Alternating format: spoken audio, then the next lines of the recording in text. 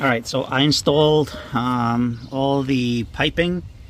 Uh, nothing is secure yet, just uh, secure by hand.